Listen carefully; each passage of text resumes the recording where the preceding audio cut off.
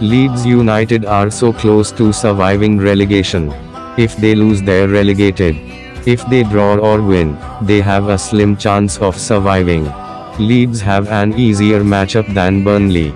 We hope for the best.